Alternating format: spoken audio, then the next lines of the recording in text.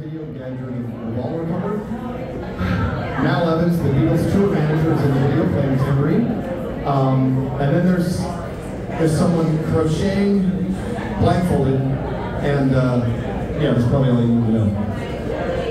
There goes. That's good.